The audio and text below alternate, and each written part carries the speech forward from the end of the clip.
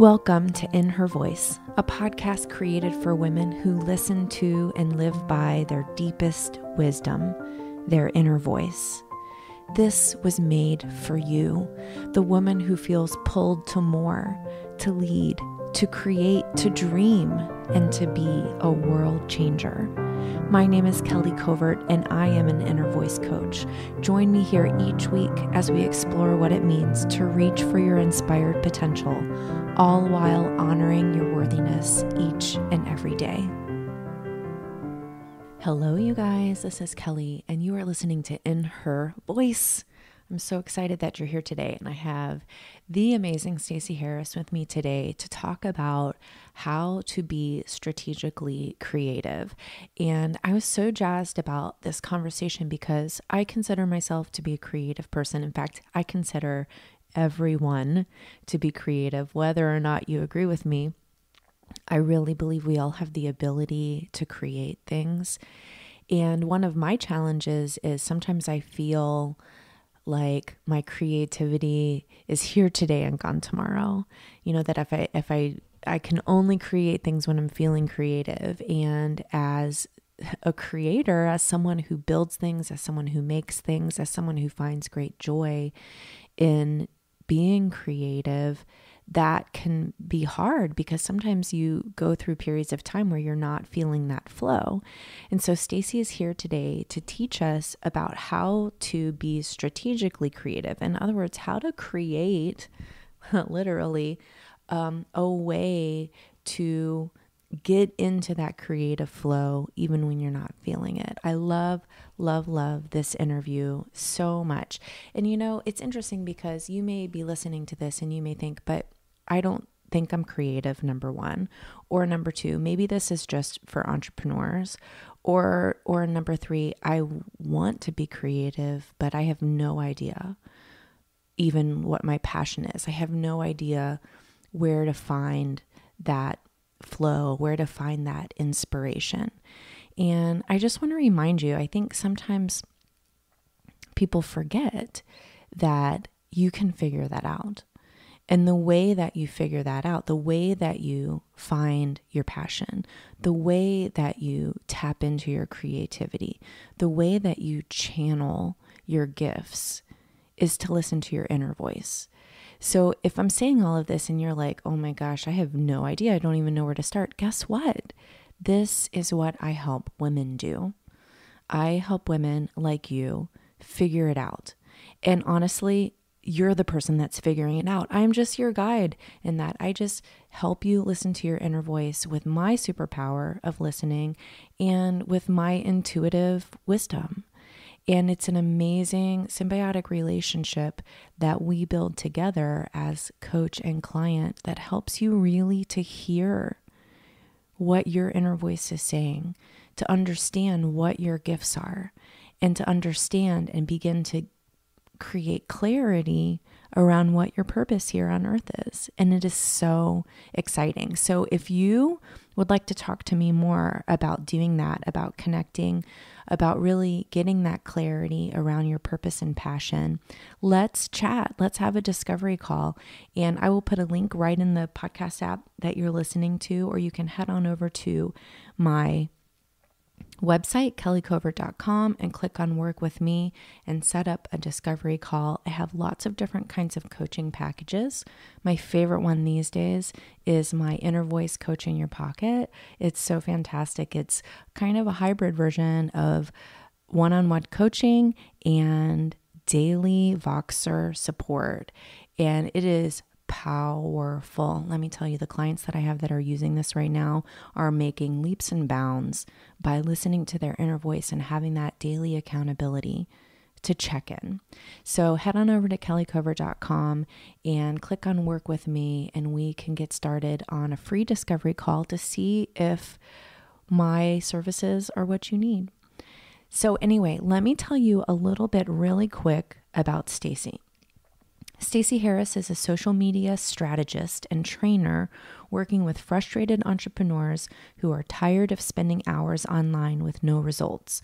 Through her podcast, live video, membership community, and consulting, she helps business owners take control of their social and actually see results so they can up their income.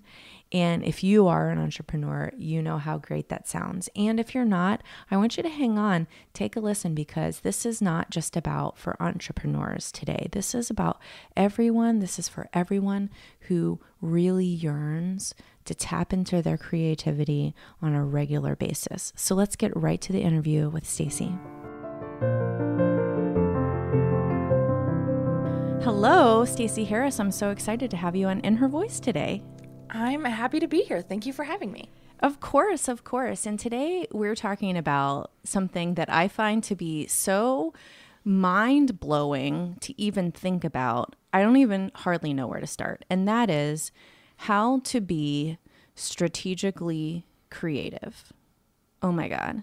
So I wanted to start with the most obvious question What do you think it means to be creative? So, for me, creativity is those times when you're sort of effortlessly coming up with ideas. Um, you know, a lot of people talk about it like flow or things like that. But for me, it's whenever I'm in those moments where I'm like, oh, hey, I got this. We can figure this out. mm-hmm. Those kind of moments. Um, because I think it's easy for us to think about creativity in the context of like art and dance and music and those kind of things. But there's so much creativity involved in entrepreneurship and in living our lives and in problem solving. Um, these places where we don't often give ourselves the credit we deserve for being wildly creative. I mean, I know like you're you are like me, you're an entrepreneur, you're a mom. There are some times where creativity is not painting and playing music, but in fact figuring out how the kid is going to be one place and I'm going to be another place all within a window of time that traffic does not allow for. oh, yes. and I... so those moments of figuring that out and I'm like, "Oh, we can do this." That's creativity to me. Yes, thank you.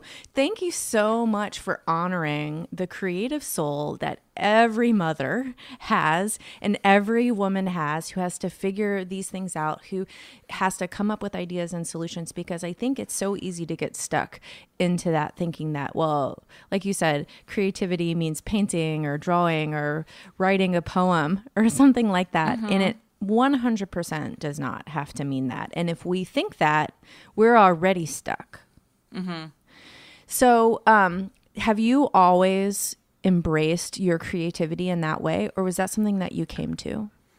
That was something I came to mostly because I spent a lot of my life wishing I was creative. Um, so I have a very like strong desire to be artistic. I've always been obsessed with music. Um, but like I went to school to be an audio engineer because that's what you do when you're obsessed with music, but you don't really have very much musical ability. um, like I can tune absolutely any instrument on the planet by ear. If I hear it, I can tune it. Um, however, I cannot carry a tune while singing to save my life. yeah, that could be problematic. Yes. And so for me, it was looking at like you said honoring where am I creative? Where mm where you know that what we what we often talk about is problem solving or thinking on your feet. That's creativity. Um, and i think it's easy for us to talk about like as women and as moms but i think it's it's really a human thing i think my husband is the most logical yet creative person on the planet because i've never watched anyone solve a problem like he does mm-hmm. i'm just mm-hmm. like wait where did that come from Hmm. I don't even know all the pieces you're talking about. What is happening? Um, and so I think for me, it really came from honoring the part of me that was creative and in my own unique and creative way, uh, because I didn't feel traditionally creative. Mm-hmm. What shifted for you when you embraced your creativity? Um, I think it really came from stepping into this world of entrepreneurship uh, even more than than the idea of. I mean, I started my business when my son was two, and so even more than motherhood, I think genuinely creating something from nothing. And here I am, eight years, and it's hard to to look at that and not be like, oh yeah, that took a lot of creativity, uh, starting a business with a two year old and and creating what I've created, and so honoring that and honoring what I needed to be able to step into that space, um, really allowed me to appreciate the things I was doing instead of wishing for something else. Mm-hmm. I love that. I love just thinking about appreciating the things that we're doing. I think we don't do that enough.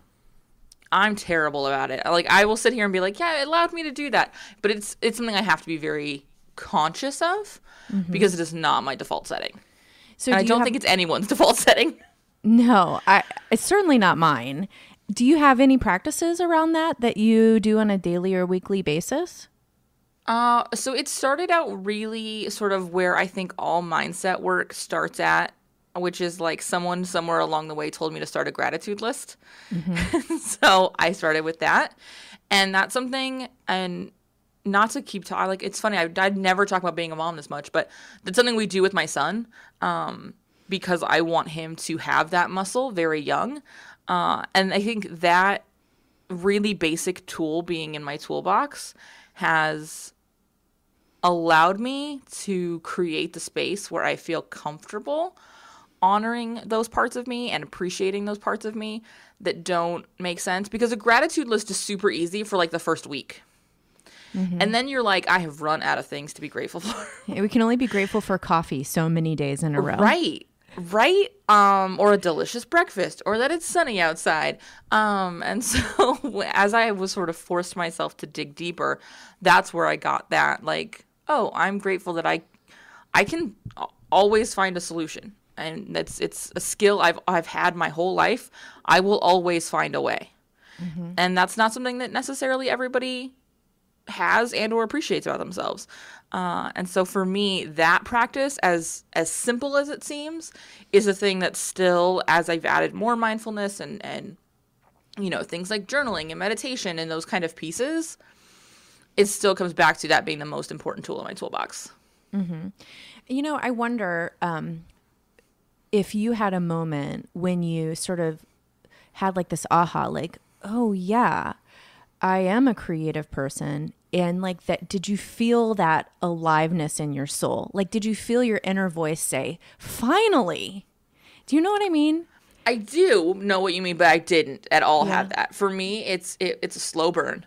Mm-hmm. it's it's one of those things that um, creeps up uh, from time to time.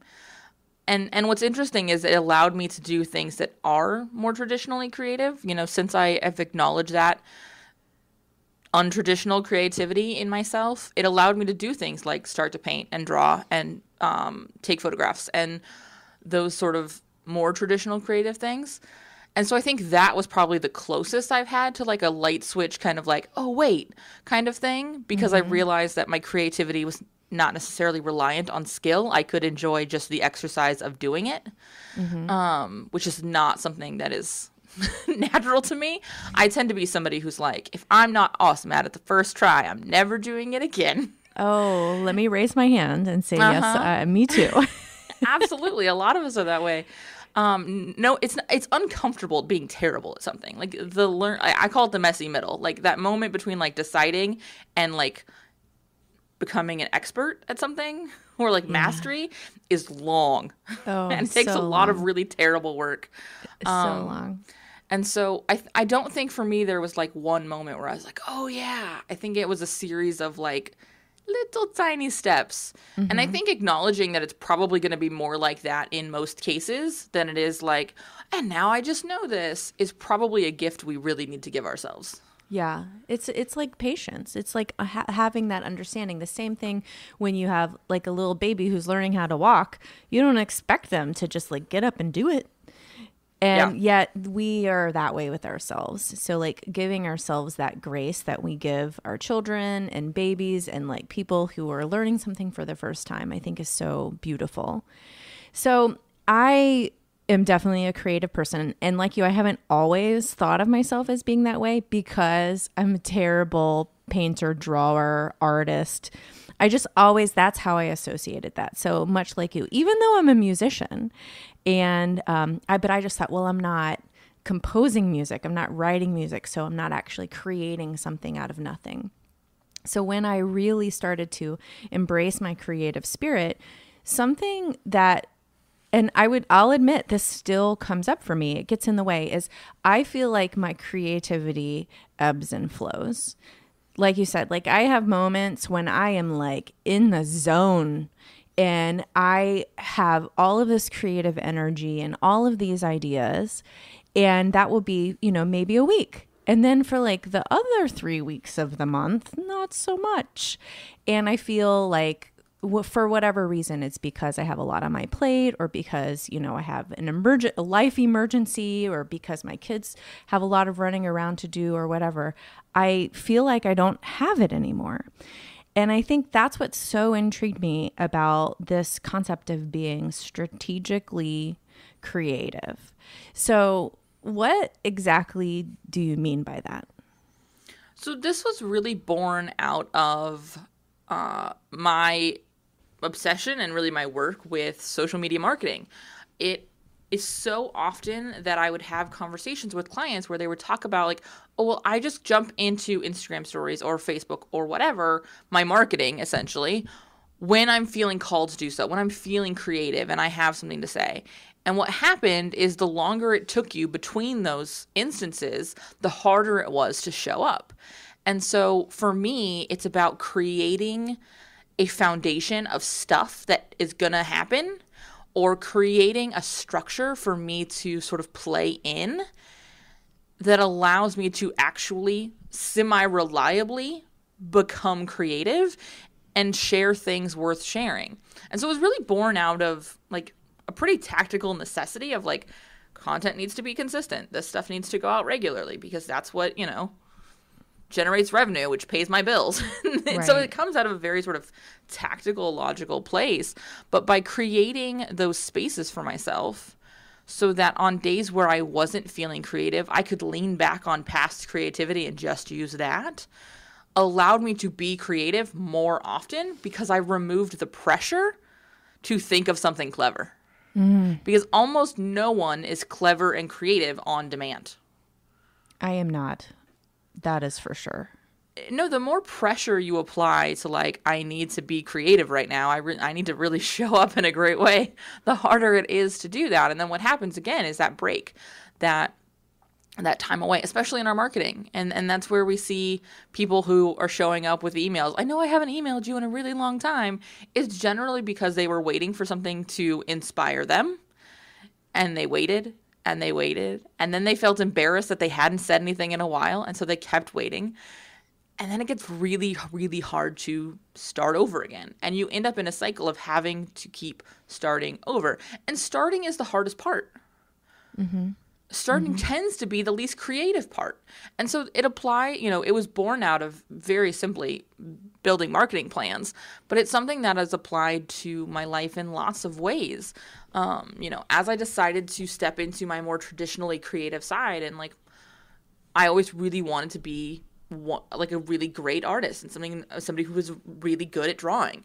So I started taking classes. Like I started actually learning to technically draw and creating that that box of technicality allows me to feel like I can get creative and play with where the edges of that box are but I had to strategically build the box of this is this is the space I play in so that I could start creatively testing those limits. Mm-hmm. And so again, mm-hmm. it was born out of very logical places, but it has applied to a lot of different parts of my life and my creativity. Yeah. Okay, so so many things coming up.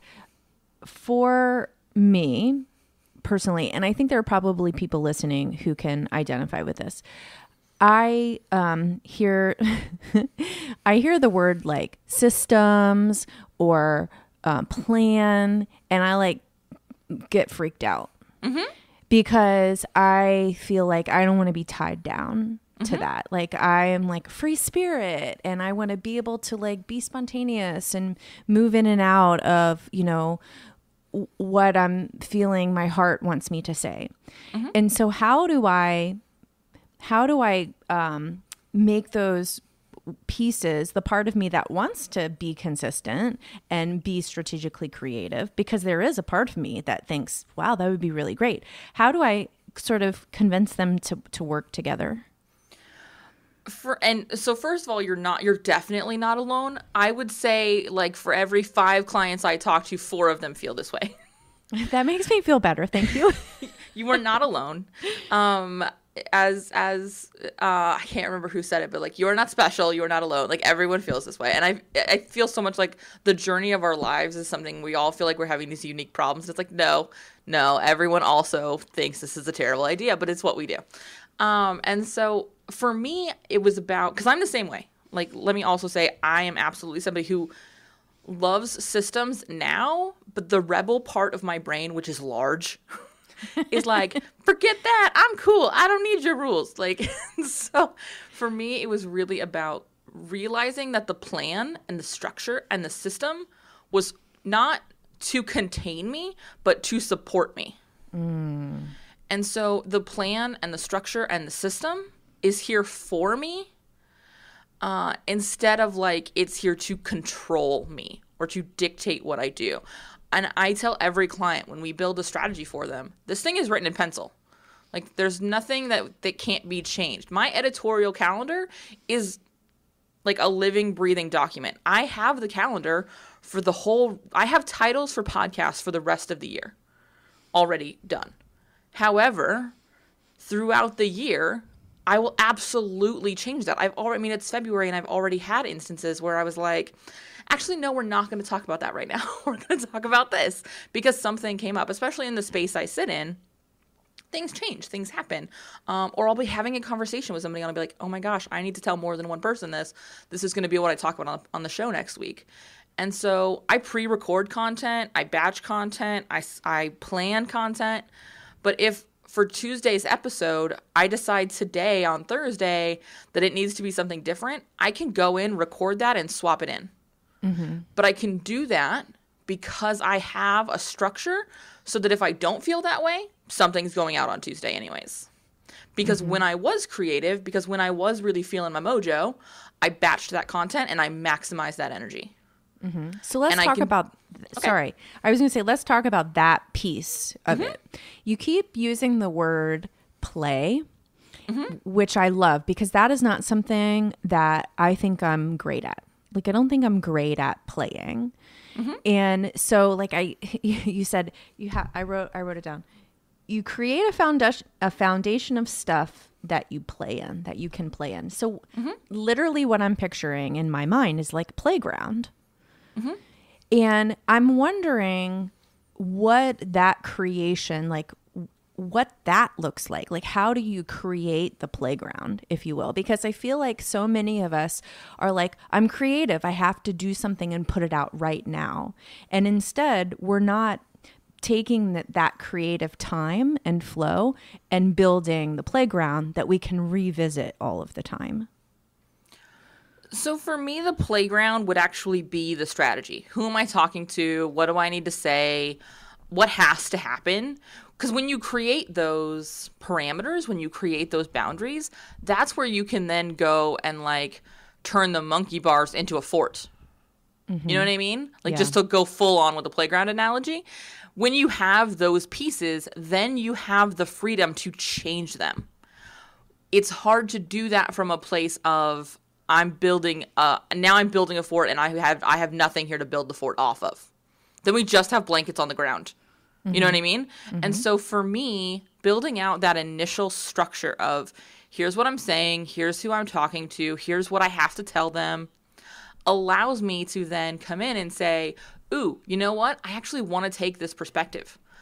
It also the energy of wanting to create something and put it out right now stops the energy of creating because we go into creating and then we flip off the switch to disperse that that thing we created instead of for me because i have built this structure and i know because i have podcast titles for the rest of the year i can keep creating so i just go from one to the next to the next to the next so i stay in that creative energy i stay in that space of of birthing content much longer because I don't immediately switch into, okay, now I have to tell people about this.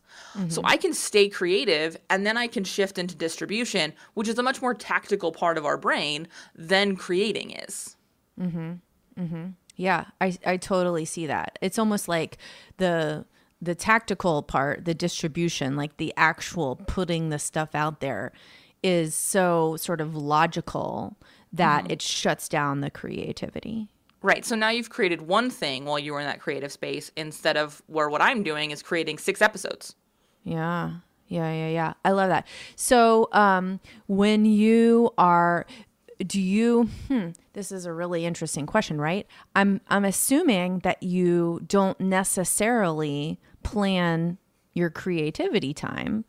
So, like, how do you how do you if you're just starting out with this kind of system, do you just sort of wait until you're feeling creative and then be like, okay, I'm not doing anything else right now except digging into making my playground? I make space for it. Um, for me, at this point, I've hacked myself to the point where I know kind of when I'm going to be creative. Mm-hmm. I kind of know when I am most in alignment with that energy. Um, for example, before we hopped on, we talked about me being an early bird. I tend to be most creative early in my day. I really like working when no one else is working because it makes me feel like I'm like, I don't know, rebelling against the system and like this is my space and I can do whatever I want in it because no one else is here, which is silly because I'm literally in an office by myself. It's not like anyone would notice if I did anything in the middle of the day. But there is an energy to the early morning and to the late at night where it really fuels my creativity. I know that about myself. And so when I am in a batching period and I'm really creating a ton of content or creating a ton of whatever, I tend to do that really early in the day and or on the weekends because I know for me, part of that, like, I'm here when no one else is kind of energy allows me to feel super creative. Mm-hmm. So take stock, notice kind of where are you feeling the most creative? Where does that tend to creep up for you? And then maximize that time, optimize the amount of time you can spend in it. I built the playground when I wasn't necessarily feeling super creative partially because at this point I know the system. Like I I know what the playground needs. I know we need to build monkey bars here and we need a swing set here and we're going to put a couple of slides over here. Like I know what those components are. I don't have to be creative to put those together. And that's true for most of us. We all know we have, you know, XYZ that needs to go out and this promotion that we're launching and these pieces of content that we do. For the most part, we already know that stuff. So I mapped that out when I wasn't feeling creative. So in that space, I've opened up for creativity, for actual creation and really execution of the plan. I can then just look at what I created and go, oh, yeah, I can talk about that. Here's the perspective I want to take on that. And I can then flip into that creative space because I have this sort of thing to lean on. I have this playground to start from. I can, again, I can look at the monkey bars and say, cool, this would be an awesome fort. Mm-hmm. Because all I did when I created the, the plan or built the playground was create the structures for me to then do something with instead mm-hmm. of having to go, all right, so I'm launching XYZ program. I need to make sure this content goes out to support that. All right, I'm going to sit down and create that right now. Mm. Now I'm flipping hard from logical to creative again, and then flipping right back to logical for distribution because I've decided I need to put it out right now because I didn't plan in advance of when these things needed to happen. Mm-hmm. Mm-hmm. And so it really is just optimized for me. I'm not a great switcher. I am not somebody who like really loves jumping from task to task. I am absolutely a recovering multitasker because I just I don't tend to operate that operate well that way. And so for me, anytime I can stay in a space of the same thing all day, this is why all my client calls happen on one day. This is why all my learning stuff happens on one day. All my client delivery work happens on one day. All my content creation stuff happens on one day. Because if I can just sit in that and like pedal to the metal for as long as that kind of energy will last, stay with it, I'm what I'm way better served. Yeah, yeah, yeah, yeah. So a few of the things that I just want to like um, highlight t- that came up for me as you were talking is is this idea of like really starting to become aware of what kind of energy you have throughout the day when your creativity shows up because it's probably on a pretty regular schedule mm-hmm. and understanding how you can sort of get into that place in a quicker way and then stay in that place as long as you need to stay in it. And this is just about observing. It's just about being mindful of when that stuff comes up and and that may be as easy as like um my uh my listeners know I have a practice tracker that I use throughout the month and I sort of have a daily page. And so like I could just make a little note on my practice tracker for that day. I was really creative today and this is what time I started or whatever. And if you're not aware of those things yet, you can start to become aware just by taking note. So I really love that. And then the other thing that that came up to me is is that is this that the playground doesn't require creativity to build. And I think that for me personally is key. Like I just need to like set aside a day and, you know, give myself some fun snacks and and just do that work. And once that work is done, then it's there. It's always there and it's ready to go anytime that I feel in that flow. And so I love that. I love that sort of you're setting yourself up to to be ready to be creative. Absolutely. And you know what? You make a good point with like fun snacks. Like, this is one of the reasons. So this is exactly the work we do at my live events. So with Backstage Live is we come out, we we pull someone out of their office and they come see me, and we work on this stuff together. We build the playground together. Because there's something really powerful about getting out of your office to do this, getting out of your normal space.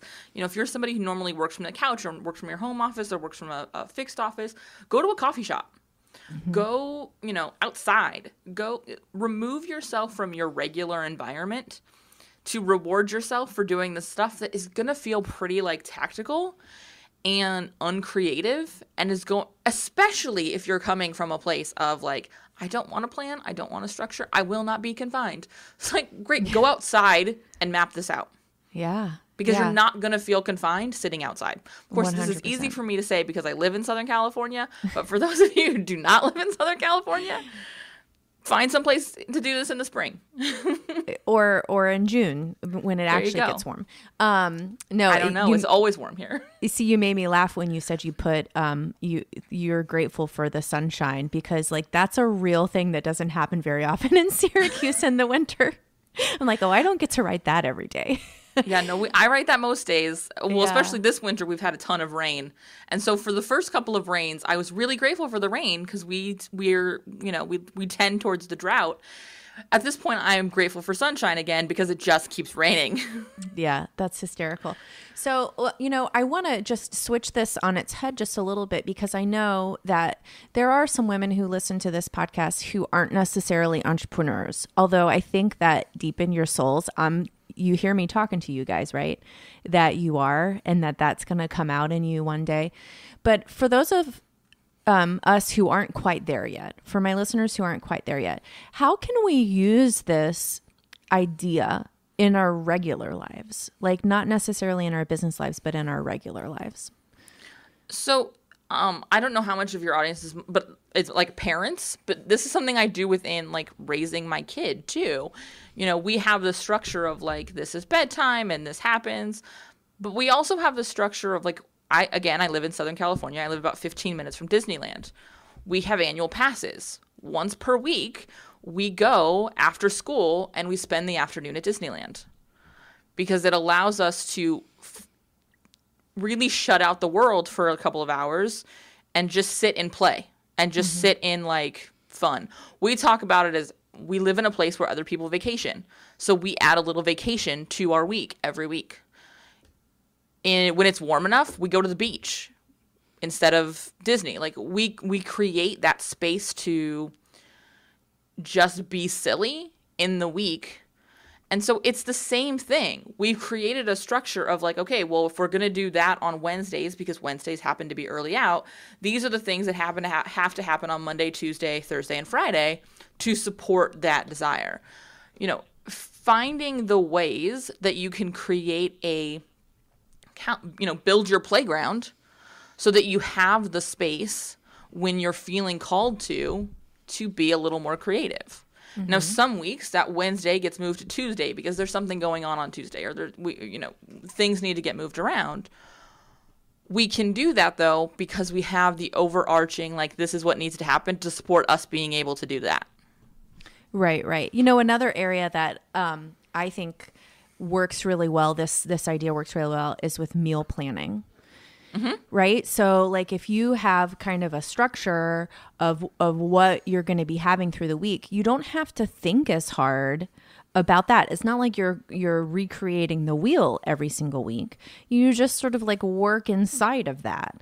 And if you have a routine around that, like when you go to the grocery store and when you're going to sit down and figure out what you're going to have for the week and how you plan everything out, then there's still room to be creative when that hits you within that structure. And so that's another way I think that a lot of people can really use this idea to make their lives easier, truly. And I think the meal planning is such a great example because this is something I struggled with for such a long time. Because inevitably, the thing we plan to have for dinner Monday night is the thing that sounds terrible for dinner Monday night. Mm-hmm. And so now we just have like seven dinners like on the board, and that's what we got the groceries for. And it's kind of like, which one do you want to have tonight? So we've sort of front ended decision fatigue because we're only talking about a few options versus all of the food in the world which Yeah. generally just ends up with like tacos from this great taco place by our house. Like that, that's that's sort of the default if nothing else works. Um, so it'll again, you're creating that structure where you can be like, oh well, this could work, and or like, oh well, these ingredients will also turn into this. How about we have it? Awesome. Yeah. Yeah, yeah, yeah. I love that. I love that. Well, um, Stacey, this this is I feel like there's so many takeaways. I feel like I just want to like go away for a day and build my playground and bring fun snacks and um, have some great music. Maybe I would even go uh, somewhere where it's warm.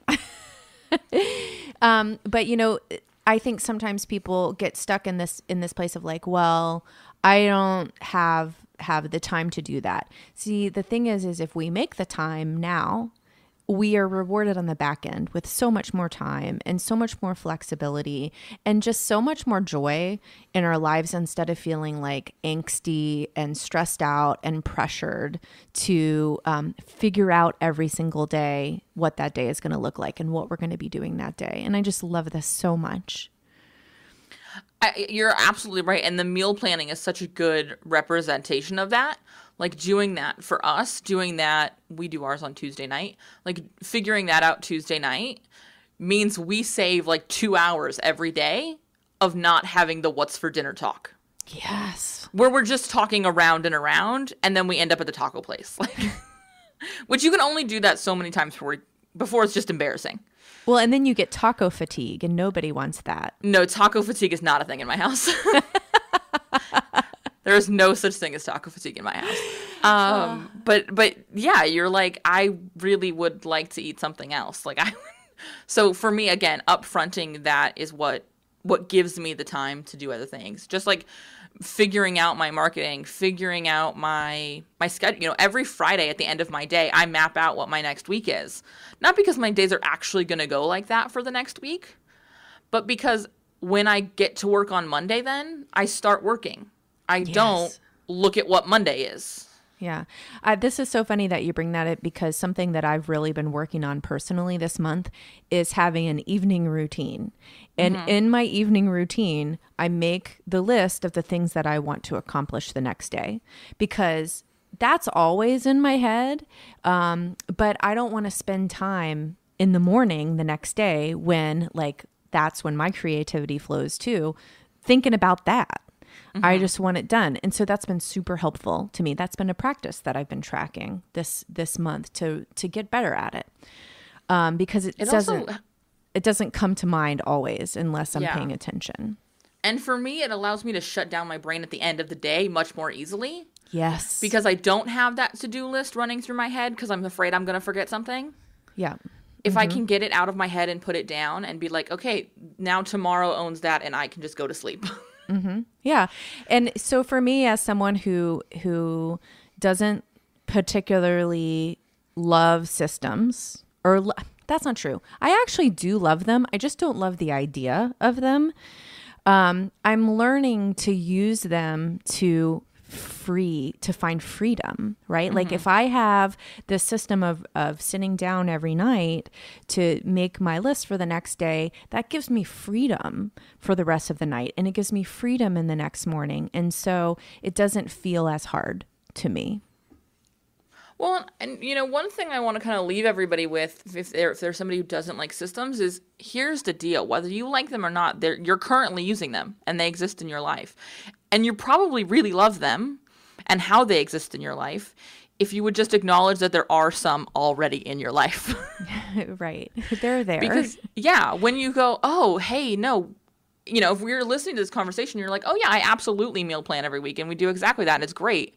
Great, you have a system already Mm-hmm. Like, just apply that same thing to something else. Um, because I do find that my friends and clients who hate systems all meal plan. Isn't and I'm like, you know, that's a system. like, you're already using this. Yeah, you're not special. Yeah. Um, and again, some of that language around, you know, I'm a, I'm a I'm obsessed with language and how we language things. And so when we decide that we don't like systems, we don't like systems. And every time we think about systems, we're going to feel that I don't like systems mm-hmm. versus systems are here to support me, not control me. And so then when we see a system, we're like, oh, I can use this. Like yeah. the systems are there for you to use. Mm-hmm. So change your language and and your that will impact your perspective.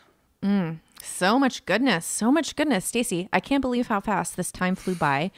Um, why don't you let my listeners know about all of your amazing stuff? You've talked about your podcast a little bit. How can we connect with you? So, absolutely everything for the podcast um, is over at thestaceyharris.com. Um, if you want to spend a day in sunny Southern California. Yes, uh, please. Uh, doing some planning. I do have a backstage live um, event coming up in March, and then we're doing another one in uh, May, uh, both here in Southern California, where it will be sunny and warm and delightful. Uh, and so that's a great way to start building the structure with the support of other people who probably also don't like doing this. And I'm there, and we make it fun, and we have snacks, and we get a yummy lunch, and it's a good mm-hmm. day. Fun snacks. Um, Fantastic. Um, gotta have fun snacks. But absolutely, the details for absolutely everything are over at thestaceyharris.com. Mm-hmm. And that's also how we can connect with you on Instagram as yep. well. And Stacey has the Stacey Harris everywhere, everywhere, everywhere. So, um, so the Stacey Harris. Um, why don't you tell us what your inner voice is asking of you right now in your life? To rest. yes. So I um I launched a digital marketing agency named Uncommonly More earlier this year. And in launching a second business, I'm remembering all the things. It's kind of like when you have, although I only have one child, but I've been told when you have a second child, you forget how hard your first child was. Mm-hmm. I'm realizing the same is true with businesses. when you launch a second business, you have somehow blocked out all the effort it took to launch that from the paperwork and the monotonous stuff Mm-hmm. And so right now my my inner voice, my inner knowing is a lot about rest, which is why I'm heading into a 3-day weekend that I'm very much so looking forward to. Oh, well, I'm glad that you're listening, and I'm sure that that's a message that many of us should hold on to and uh, make sure that if our inner voice is sharing that we listen as well. Stacey, thank you so much. I have so enjoyed having you on. I love your energy. I love your excitement around systems. It makes me super happy and excited to have my own. So thank you. Thanks for having me. I'm really excited. I, I hope that I get lots of DMs on Instagram from you guys telling me that you have built some kind of structure to support you getting to like have a little fun and be creative. Yes, can't wait. Oh my goodness. I just love that idea of being create um, strategically creative. If you if you can't tell, you guys, it is early this morning. My voice and maybe my brain still aren't all the way on yet, but I wanted to make sure that I got this out to you. And I am doing Stacey's workshop virtually today, her backstage live work- workshop today. And if this is something that's really just resonating with you, like I have a business. I really need this. This is something that I need to understand how to work it. And that's that it, that's exactly how it was for me. Um, I encourage you to check out her website because she has a couple more of her backstage live workshops this year. And I think that two of them are virtual, so you can do them right from home, like no bra required. How about that? And I think one of them is live. I know there's one coming up in June. So definitely check that out. I will report back over on Instagram at Kelly J. Covert in my stories and let you know how um, I loved it. And I'm betting that if you follow me on Instagram, you might see some changes there because I'm really going to implement on my social media the things that I learned today. So I'm excited about that. Just a reminder if you aren't an entrepreneur, if you don't have a business, this podcast is still for you. This is about listening to your inner voice. And if you're not sure what that means, or if you're not sure how to do it, or if you just need some extra support in that, I just encourage you to reach out to me. Let's connect. Let's talk. Let's see if inner voice coaching is right for you. And let's see if that can really get you to where you want to be, to how you want to be feeling every single day. Click the link in the podcast app that you're listening to, and we can set up a free discovery call and talk. I want to remind you you matter. You were put on this earth for a reason. I believe that with all of my heart. You do have a purpose, you do have a passion, and we need you showing up in all of that. You are worthy.